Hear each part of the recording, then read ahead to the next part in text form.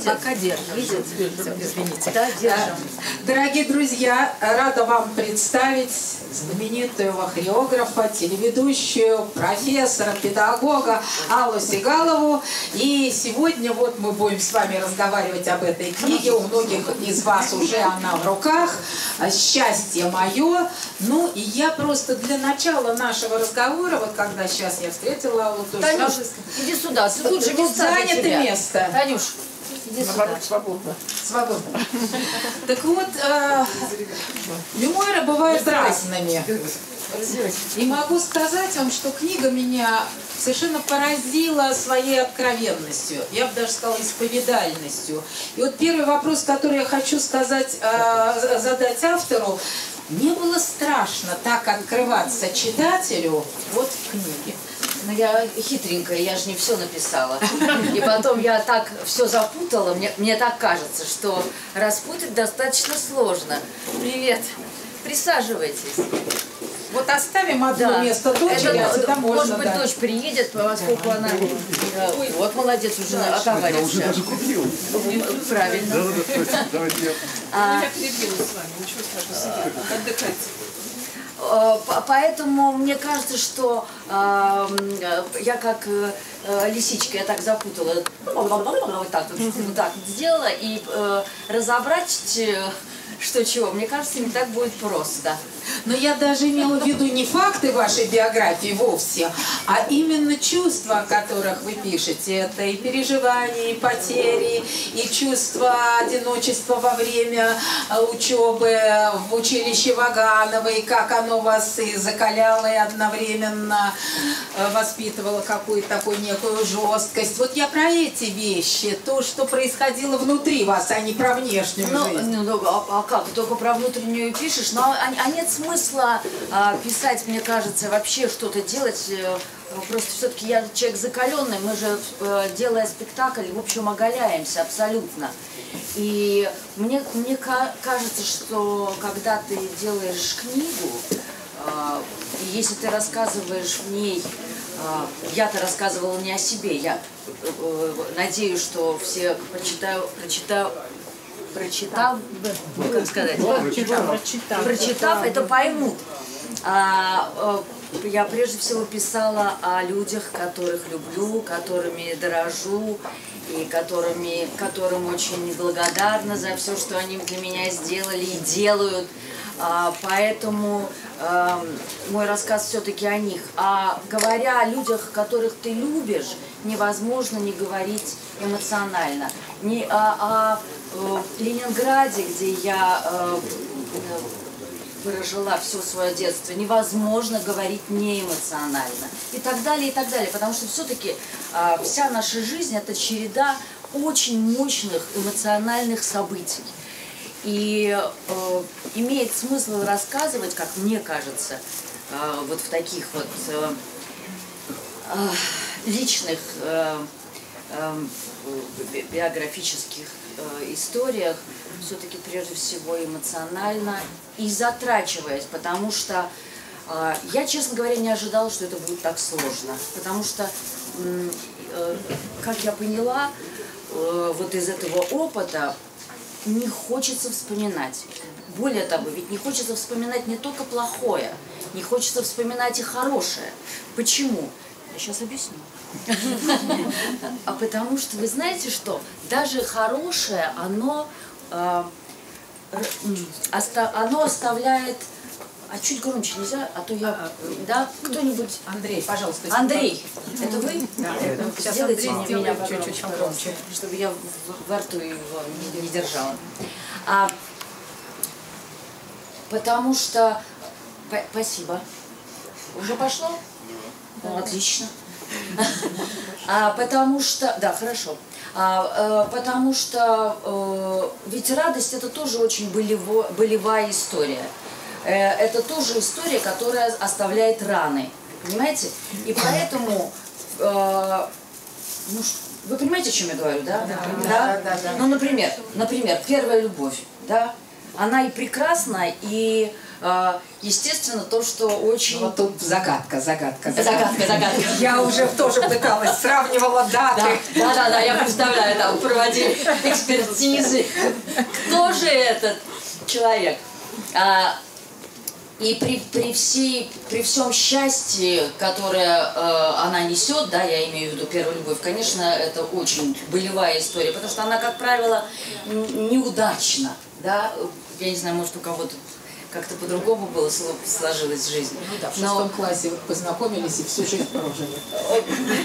Да, какой ужас. Не дай бог. А, короче говоря, для того, чтобы это писать, нужно было делать над собой усилия. Извините, что я к вам уже спиной, уже выйду туда, уже все дальше и дальше. А можно сесть? Да. А, не, не, сесть я не хочу. Не так, я, я, я первый, там.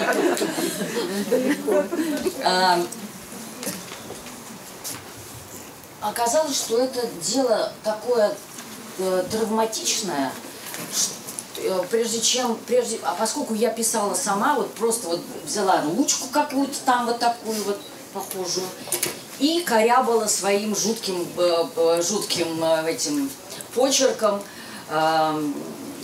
чего-то там. И сначала я решила систематизировать свой подход к, к белому листу. Думаю, вот каждый вечер после репетиции я буду приходить домой, брать ручку и час писать. Ничего подобного.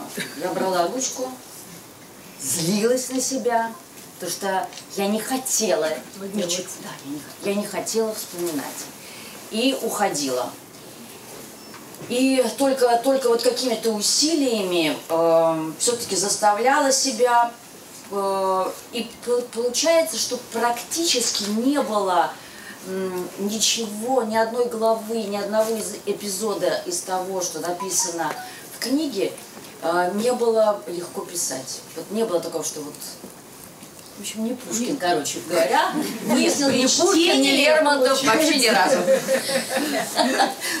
Читается это просто, как действительно, вот кто-то сказал, лирическая проза. Вот я бы, я бы так это назвала, потому что а, действительно в этой книге главное не факты. Хотя здесь вот э, заговорили о том, какие люди здесь, о ком здесь говорится. Это, ну, я не говорю про Романа Козака, но э, здесь и Гедо Дон Кремер, здесь и Вишневская, и Ростропович, здесь Барышников, и весь, э, так сказать, э, все окружение балетное. Э, замечательные люди. Но Константин Райкин, его театр. Но вот меня потрясло, что здесь не, не столько факты, сколько эмоциональные впечатления. Вот такие импрессион, которые, да, да. которые тебе сразу открывают этого человека по-другому. Больше, чем 150 фактов, в которых которых ты уже прочитал в других книгах.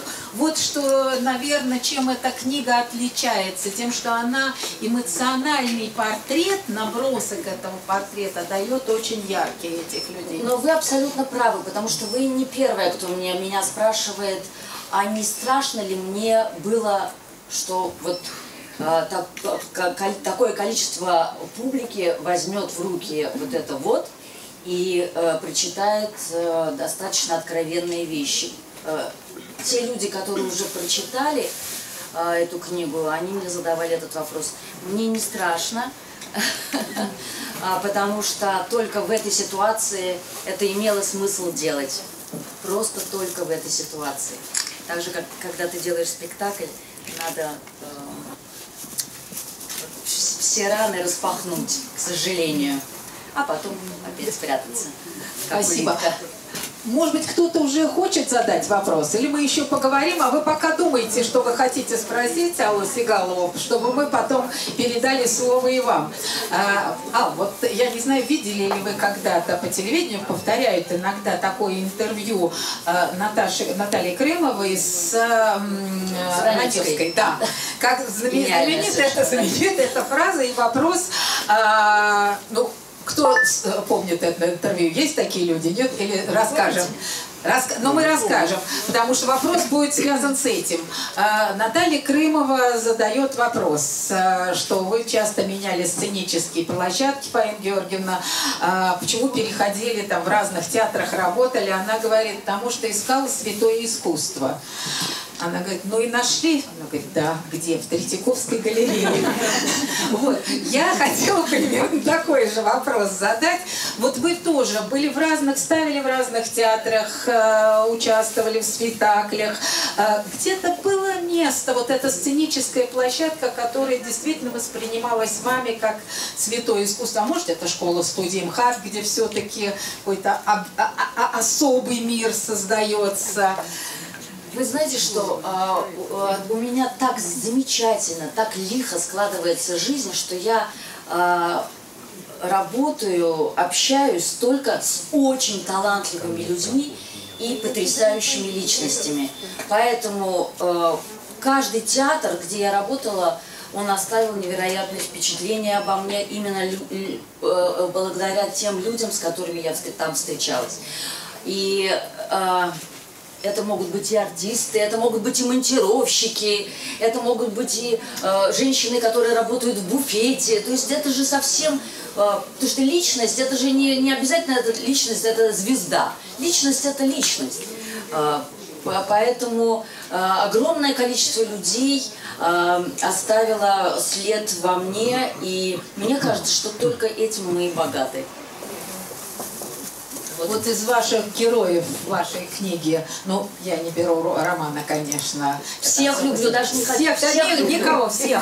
Значит, начиная с Ефремова и Смелянского и кончая, да. Понимаете, в чем дело? Я не писала о людях, которых я не люблю. Я писала только о тех... А зачем я буду писать о тех, которых я не люблю? Ну, какой смысл? И я ей написать о них ничего не могу.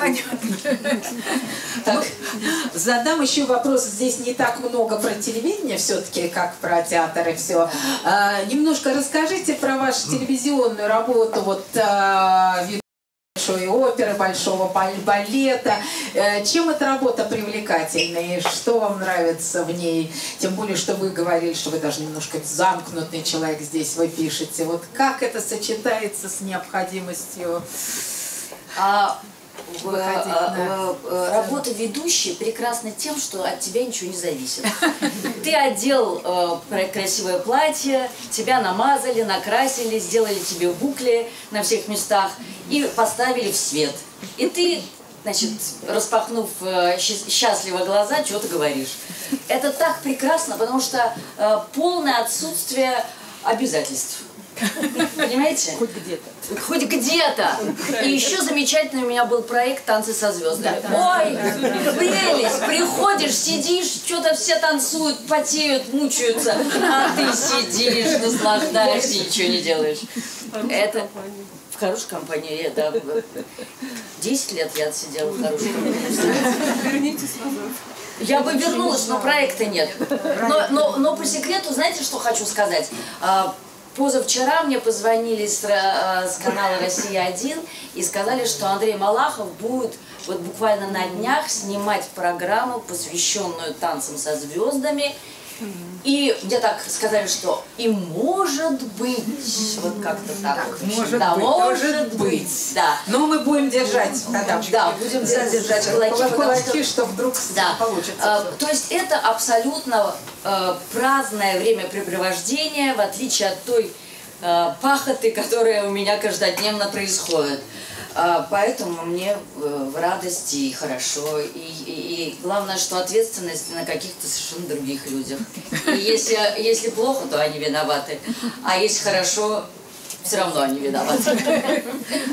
А, ну вот э, подошли вот к вопросу все-таки ближе опять к танцам, к хореографии. А, ну вот как-то мы можем представить, как рождается образ у актера, у режиссера. спек- Я все время задумываюсь над тем, как рождается хореографический образ, вот э, структура танца. Вот, ну скажите хоть Я несколько вам слов, скажу, попробуйте я, нет, тут объяснить нам. Да. Очень все просто. Он, зараза, не, не рождается, он не заканчивается. Знаете, вот эти вот э, фигурки бесконечные, пляшущие в голове, они...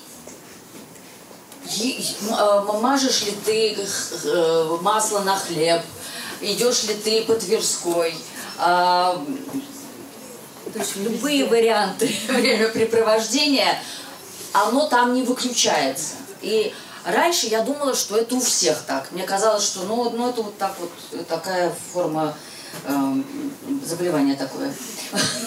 А оказалось, что нет что это не у всех. Вот у вас танцуют человечки? Нет, ну я-то не хореограф. У меня хореограф, у меня шекспир. Да? Тоже хорошо. А у меня все танцуют и танцуют. И э, самое страшное, когда звучит где-то музыка. Я ее стараюсь всегда выключать, потому что э, музыка, ритм, вот э, эти шевелящиеся дворники на машине, э, сразу пошел ритм, ритм. да, и все, и поехала, и, и э, вот иногда я понимаю, что я так увлечена, что я не, не забываю, куда я еду, так что это такая, ну, сложная какая-то внутренняя жизнь, которая, которая совершенно не, не регулируется. Она вот э, сама по себе. Так же, как мысль. Мысль же мы не можем остановить. Да? Она же все время о чем, о чем что вижу, о том пою. Да? Вот то же самое. Так вот, так, так и это. Ритм услышала и пошло, пошло. Э, Алла, давайте вспомним вот одну вашу замечательную работу, мы с вами о ней говорили. Это когда вы э, нашли хореографический образ к книге Александра да. Васильева «Красота в изгнании». Да. Это был 99-й, если Это был 99-й да. год.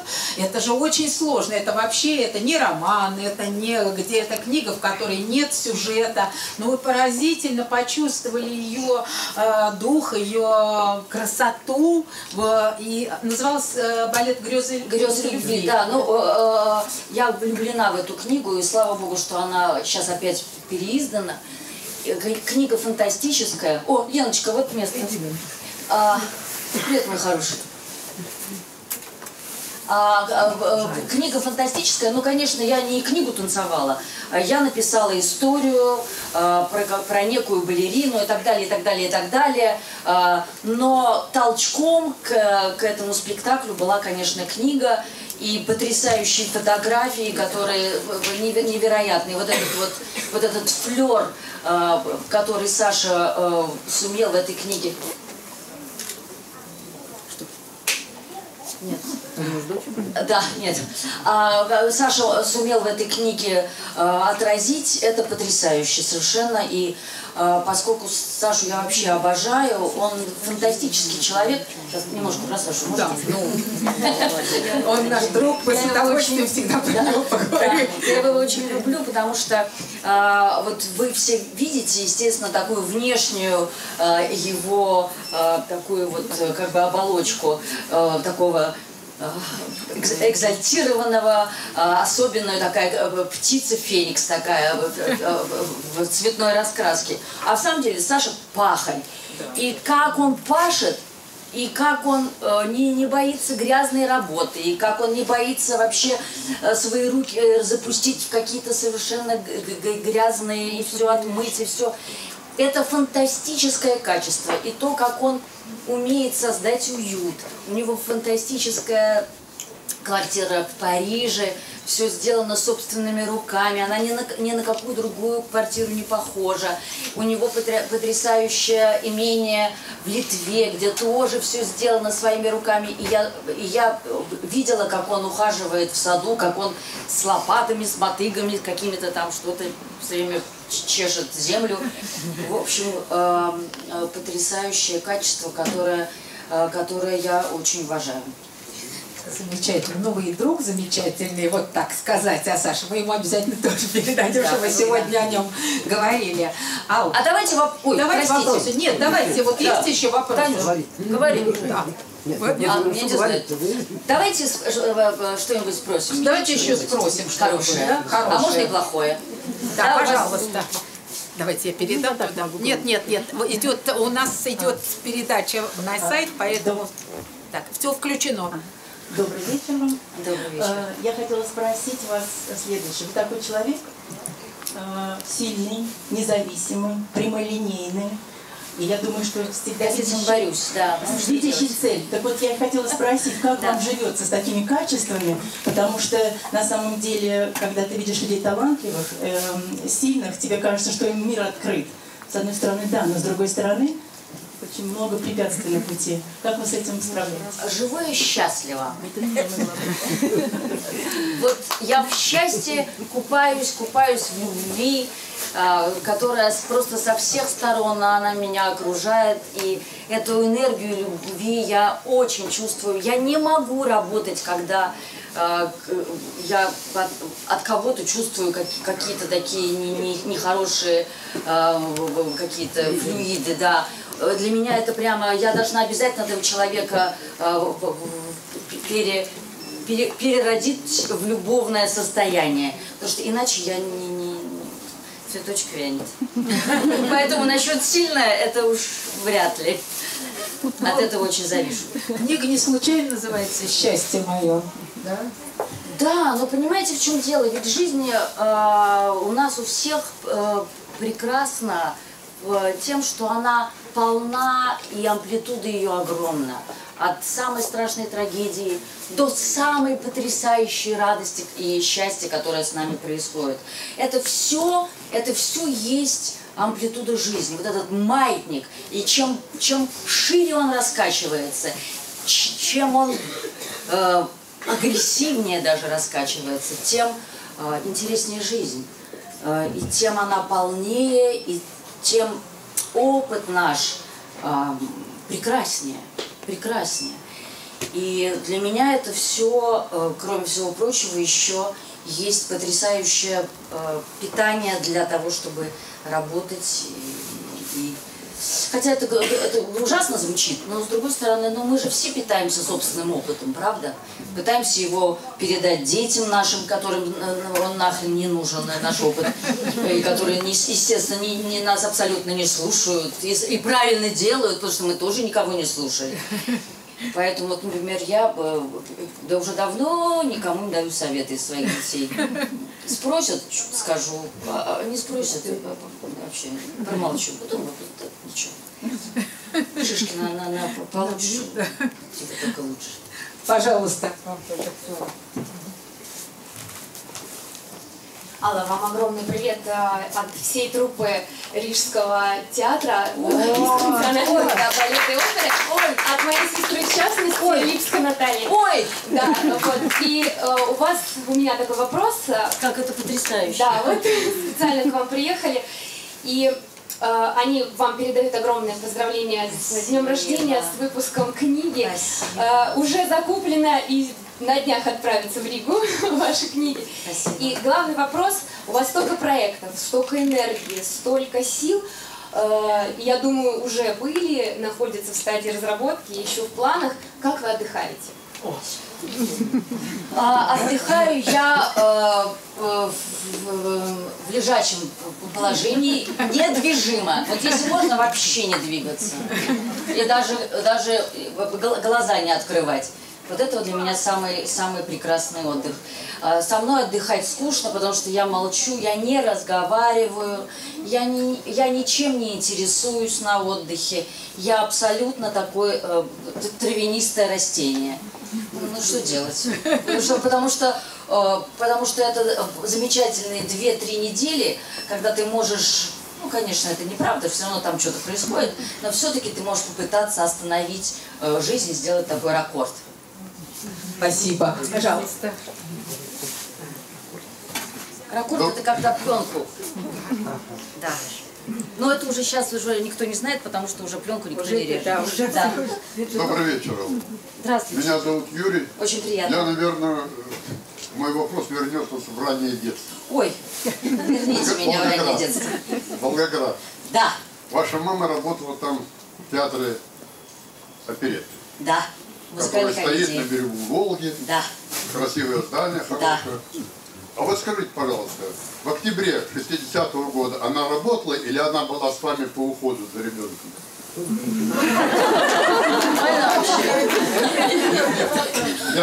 Будьте любезны ответить. Почему я спрашиваю? А Вы знаете, да, п- почему? Только сейчас не говорите, что А. вы были вместе с мамой ухаживали. Дело в том, что э, я служил в то время значит, в армии, Ага. и мы ожидали пролет очередного самолета-шпиона по Волгоградским степям. Ага. И через два месяца после сидения в поле я оказался в 20-х числах октября в Волгограде. Так. И весь репертуар этого театра Посмотрел. вот посмотрел. Прекрасный коллектив. Да. Отлично. Театр был фантастический, я с вами согласна. Да, очень замечательно. Мама танцевала, она Да. не- долго не сидела по, Ну, уходу. понятно. Значит, я ее видел. Хотя бы Да. Какой это октябрь был? Это было 20 по 30 октября 60 года. Ага. Э, Я в это время была у бабушки с дедушкой под Ленинградом на Под Питером, даче. Да? Ну, все, значит, Да, маму видела. Кстати, у мамы сегодня день рождения. Передадим маме Мой вопрос Мы не передадим ей, Мой вопрос потому что уже не Маме большой-большой привет. Э, Когда там окажусь, обязательно передам. А, Я хочу сказать, что вообще строки, которые маме посвящены в этой книге, совершенно замечательные. Я помню пророки маме Да. написаны. А Еще раз. Так, пожалуйста, э, э, кто еще хочет задать какой-то вопрос? Пожалуйста. Да, да, подходите, не бойтесь, а то так вот. Вот сюда давайте я вам передам. Алла Михайловна, вопрос следующий. У вас потрясающий вкус во всем. А, у меня вопрос, как вы э, формировали свой личный стиль э, в, в одежде, в образе? Потому что он безупречен, и всегда э, любое ваше интервью или выступление на сцене. Понятное дело, что вряд ли с вами работают стилисты, скорее всего, это ваш личный выбор. Вот мне интересно, как складывался ваш личный вкус? Вы знаете что, е- меньше всего я думаю про то, во что я одета и что я покупаю. Меня вообще э, э, проблема магазинов и моды вообще не интересует. Я ужасно ли... не- не- Незаметно, да? Я делаю, правда, правда, я делаю так, я, я забегаю так, тык-тык-тык-тык-тык-тык, и убегаю. Потом думаю, домой прихожу, думаю, боже, ну куда же теперь это все девать? А, ну, иногда угадываю. Нет, вы знаете что, я, я- не очень размышляю на эту тему. Просто среда, в которой я росла, она дала мне толчок чего-то про это понимать. Э, Книги, которые бы- были бесконечные рядом, потому что я имела доступ э, в Ленинградскую публичную библиотеку в закрытые фонды, когда еще была ребенком. И меня просто там сажали, потому что мама была далеко, там, а, э, в общем, не, с кем было оставить ребенка. И меня там саж- сажали, и стопы, стопки книг э, мне давали, журналов. Я маленькая, первый раз именно там увидела журнал «Офисье». Я, у меня был просто шок, потому что я вообще не знала, что такое существует. Ну, вы представляете, это там, э, ну, какой год? Ну, 70, 70-й, 71-й, 72-й, когда мы вообще, э, ни- ничего не было. А, э, мы вообще ничего не понимали вообще, как, как, как- как- и вдруг офисель с какими-то невероятными женщинами, с какими-то невероятными платьями, украшениями, невероятно. И, но это не только офисель, конечно, прежде всего это семья Михайловых-Сомовых, где я росла, где я встречала великих людей, и э, эти великие люди э, были, выглядели особенно. И, наверное, все, что я... Вообще, все, что во, э, во, во мне есть хорошее, это все вот из этого дома. От мамы и от- и из этого великого дома. Спасибо, вам Спасибо. большое. Спасибо. И за комплименты вам спасибо, это очень приятно. Пожалуйста, еще, пожалуйста, вопросы. Ну, я промежуточный вопрос тоже задам, а может быть, он такой э, более узкий, но мне очень интересно. Вот э, в мою бытность в школе студии МХАТ э, кафедра, которую вы теперь возглавляете, она называлась кафедра сценического движения. Понятно, о чем это. Это людей как э, вот непосредственно на сцене двигаться. Вы назвали кафедру совершенно иначе, пластического воспитания. Расскажите не- немножко о том, как э, это сказывается на актерском мастерстве и какую мысль вы в это вкладывали. Это очень интересно. Как, как, э, э, до того, как я пришла в Амхат, до того, как Смелянский Антон Миронович меня позвал, а, кафедра была соединена с кафедрой по сценической речи и кафедрой движения. А Анатолий Миронович их разъединил. Я не помню, кто возглавил ту кафедру. А, да, наверное, Анна Николаевна. Вот. А, а мне было предложено возглавить кафедру. И, и, и я поняла, что надо возгла- на- на- назвать ее именно так. Пластического воспитания актера. Мне кажется, что это очень правильно и очень красиво. Это- Тем более, что а, в, в моем подчинении не только те, э, э, те педагоги, которые преподают танец, а в моем подчинении и э, фехтование, и сценический бой, и сценическое движение, и современная хореография, и даже э, йога. И, и- так что вот мы много чего делаем, э, стараемся э, воспитывать наше тело э, в Амхате. Вообще МХАТ это потрясающее место. Я школу-студию обожаю. И когда был там Анатолий Миронович, это, был, это вообще был какой-то особенный такой островок, куда ты абсолютной свободы, абсолютной чистоты, вот, вот, вот в прямом смысле чистоты, вот все было аккуратно до невозможности. И э, абсолютного комфорта внутреннего, потому что э, вокруг были фантастические педагоги. Я почему говорю были, потому что все-таки это уже, э, уже я давно уже там нахожусь, и за это время много изменилось, и Антон Миронович уже ушел, и мы уже, мы уже, мое поколение стали мастерами, главными мастерами, а до этого были другие мастера, Олег Павлович Табаков, э, Гарик Леонтьев, э, Алла Борисовна Покровская, а теперь мы мастера. Знаете вообще, что творится? Вот. Старость пришла к нам в чумы. Спасибо за ответ. Дорогие друзья, еще есть у нас вопросы? Молодежь, есть такая возможность. Молодежь, давайте. Да, да. А? Где вы? Кто? Не вижу, кто поднимал. Давайте. А вот молодежь. Вот молодежь. Смотри, как на молодежь отреагировала. Павел Михайловна, раз мы заговорили про школу студию МХАТ, Да. то а, ну, понятно, что туда приходят самые разные мальчики и девочки. А, еще угловатые, еще не умеющие своим телом а, владеть. А, и вы их учите. Вот кто вас поразил особенно? Чье преображение оказалось прям вот таким впечатляющим? Вы знаете что, э, поскольку я преподаю со своих 22 лет, Из последних тогда. а, то э, э, страшно вспомнить. Эти люди, когда я начала преподавать, мои ученики были старше меня. Представляете вообще? А, поэтому, да боже мой, да так их много. И, и Галя Тюнина, и Женя Цыганов, и э, Ирка Пегова, и Мамадлеша Джабраилова.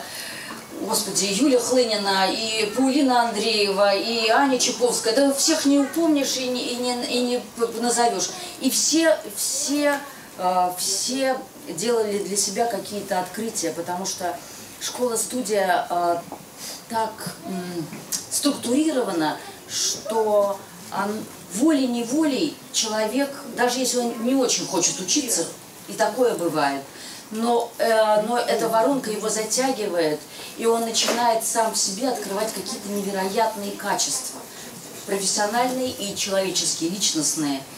И поэтому мне кажется, что школа-студия это вообще какое-то особое место, где, где, рас- где растят э, личности, которые потом не обязательно в театр идут, а и многие идут и на телевидении, и в кино, и в Министерство культуры. Ну, тоже хорошо. Такое тоже бывает. Пу- Пусть в Министерстве культуры будут, будут образованные люди. Обязательно. Что, ты не хочешь сказать, что нет в Министерстве культуры нашего? Шоу-бизнес еще некоторые. А, шоу-бизнес, да, Полина Гагарина, Сережа Лазарев. а, Память. Память-то. Кто еще у нас поет, поющий? Нет, у нас еще кто-то. А, Даша Антонюк, которая только что вы- выиграла голос два года назад. В общем, у нас все поющие и танцующие. Не, не унять. Спасибо. Есть у нас еще вопросы? Дорогие друзья, да давайте все вместе, вот у Аллы с Михаилом только что был день рождения, не Ой, так давно. да. Мы все-таки от книжного магазина «Москва» и от всех любящих вас сегодня вас поздравим и будем книги. Да, давайте Сейчас, сейчас аккуратно так, дорогие друзья, спокойно. Мы сейчас тихонечко все встаем. Сегодня у нас нормальное количество людей.